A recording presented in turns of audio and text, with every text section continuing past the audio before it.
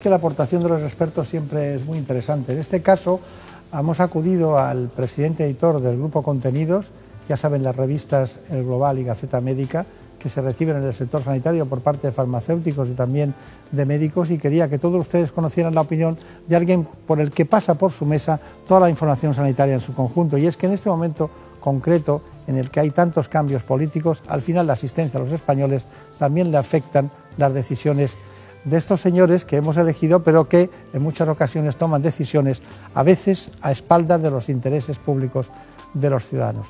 Bueno, lo cierto y lo más importante es que Santiago de Quiroga hoy nos habla de la política sanitaria actual.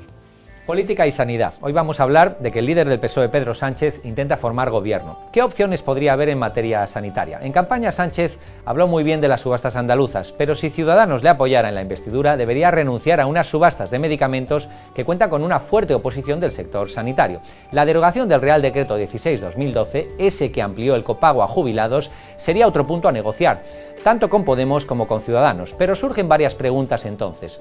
¿Los parados volverían a pagar por sus medicinas? ¿Los jubilados con recursos suficientes y que ahora pagan como máximo unos 8 euros al mes por todas sus medicinas?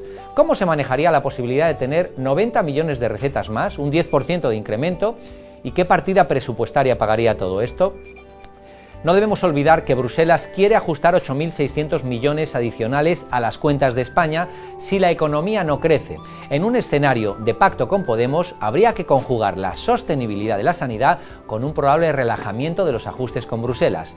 Decir como eslogan no a los recortes no basta. Hay que hacer cuentas y conseguir que la economía crezca para que la sanidad tenga el dinero que necesita.